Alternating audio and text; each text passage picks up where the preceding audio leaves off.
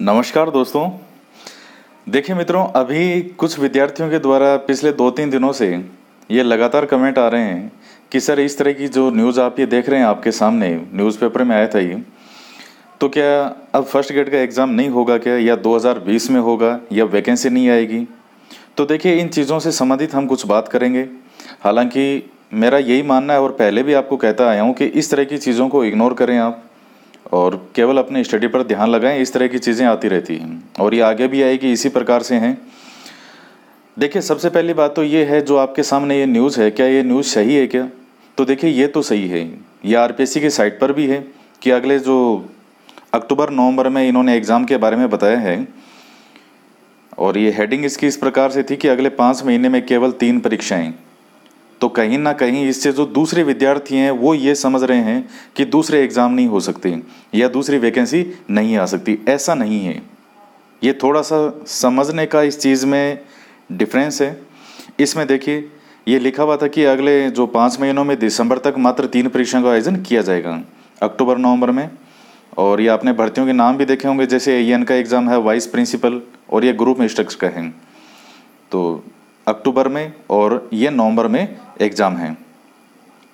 अब देखिएगा। तो दोस्तों, सबसे पहली बात तो है कि इस न्यूज़ से आपको कोई घबराने की आवश्यकता नहीं है।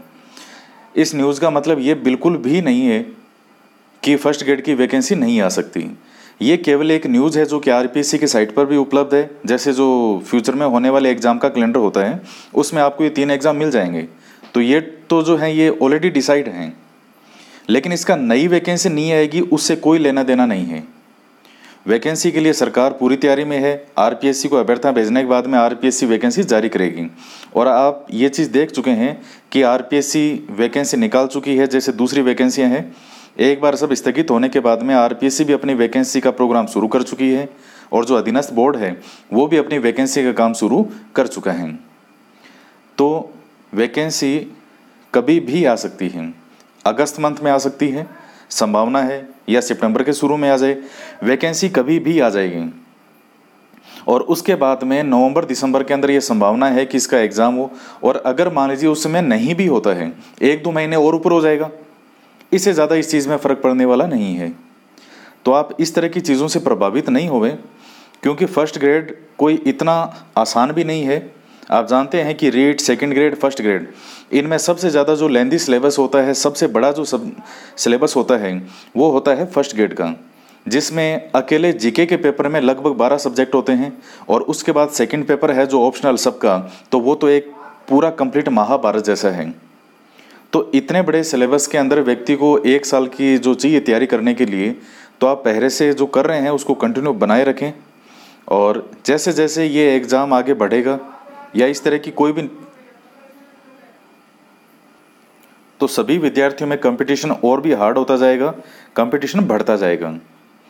आप देखिए कि लगभग 28 जून के आसपास मुझे याद आ रहा है जब ये आरपीएससी का प्रेस नोट आया था कि जो एग्ज़ाम है ये स्थगित कर दिए गए हैं, रद्द कर दिए गए हैं।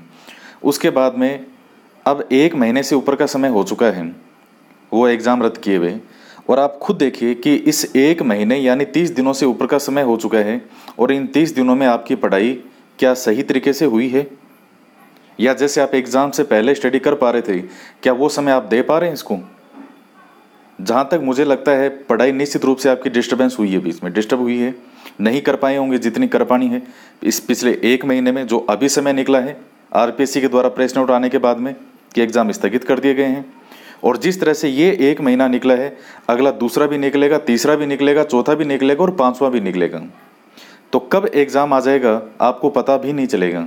पिछले दो साल कैसे निकले हैं, उसी प्रकार से ये अगले छः सात महीने और निकल जाएँगे। तो इस तरह की चीज़ों पर अपना ध्यान भटकाने के बजाय आप अपनी जो तैयारी है, उस पर एक जगह ध्यान लगाएँ, क्योंकि एग्ज़ाम का सिलेबस इसका बहुत बड़ा है। और अब वो समय नहीं रहा है कि आप कोई भी सब्जेक्ट को जो है यूँ लगे कि यह हार्ड लग रहा है तो इसको छोड़ दें। जैसे कई विद्यार्थी पहले की वैकेंसी में मैथ को जैसे मान लीजिए उन्होंने नहीं पढ़ा तो भी सिलेक्शन हो गया। वो स्थिति आज तो है ही नहीं। आप एक, चाहे हिंदी के भी चार क्वेश्चन आते हैं इंग्लिश के भी चार क्वेश्चन आएँगे फ़र्स्ट पेपर में फ़र्स्ट ग्रेड में तो आप उन चार क्वेश्चन को भी छोड़ के नहीं जा सकते अब आप। क्योंकि इतना समय मिला है कि हर विद्यार्थी अपने आप को मज़बूत करने में लगा हुआ है। और कोई लाखों वैकेंसी है नहीं। कुछ संख्या में आती है ये अलग अलग सब्जेक्ट की। और उसमें भी फिर सबका अलग विभाजन है। जनरल कैंडिडेट में इतनी सीट होगी एस सी में इतनी होगी, सब में ओबीसी में इतनी है। सबका अलग अलग विभाजन है। तो सबका अपनी अपनी जो कैटेगरी है, उसके अंदर भी कंपटीशन है। और उसमें फिर नंबर लाना। तो मित्रों, ये चीज़ें आसानी से मिलने वाली नहीं है। आप जानते हैं कि कितने लोग हैं जो इसका इंतज़ार करते हैं। कितने विद्यार्थियों की बीएड जो है राजस्थान में हर साल उनकी बीएड होती है। कितने विद्यार्थी बीएड करके आते हैं, कितने एमए करते हैं। और अब नए विद्यार्थियों को बहुत मौका मिलेगा।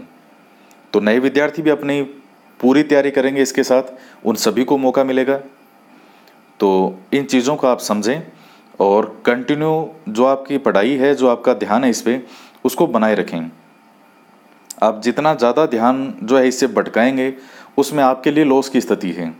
और मैं आपको एक बार फिर से ये कह सकता हूँ कि जो लास्ट के तीस दिन निकले हैं, उसको आप फिर से सोचेगा एक बार, क्या लास्ट के तीस दिनों में इस एक महीने से भी जो ऊपर का समय निकल चुका है, क्या इसमें आपकी पढ़ाई जैसी होनी चाहिए थी बेहतरीन? जैसी हम कह सकते हैं कि एग्ज़ाम में होनी चाहिए, क्या उस तरह से हुई है?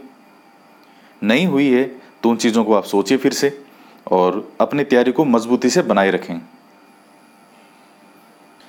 तो दोस्तों, मेरा जो आज का वीडियो बनाने का उद्देश्य है, वो यही है कि आप इस तरह की चीज़ों में जो अपना ध्यान नहीं भटकाएँ और वैकेंसी कब जारी होगी तो देखिए, कभी भी जारी हो सकती है। सेकेंड ग्रेड के जो रिज़ल्ट हैं, वो आना शुरू हो चुके हैं। आरपीएससी अपना काम धमाधम कर रही है, फटाफट। तो आरपीसी भी इस इंतज़ार में है कि हमें फ़र्स्ट ग्रेड की जितनी सीटें हैं, जो इसमें जितनी बढ़ा के और जो भी वो मिले नई वैकेंसी के रूप में अभ्यर्थना, हम उसको वैकेंसी जारी कर सकें। उसके बाद एक बार वैकेंसी जारी होने के बाद में फिर टाइम कैसे निकलेगा, आपको पता भी नहीं चलेगा। यकीन मानिए टाइम का पता फिर आपको नहीं चलेगा। कब दो महीना, तीन महीना निकल जाएँगे, चार महीना निकल जाएँगे। नवंबर, दिसंबर में नहीं भी होता है, मान लीजिए नहीं भी हुआ तो उसके दो महीने और ऊपर मान लीजिए।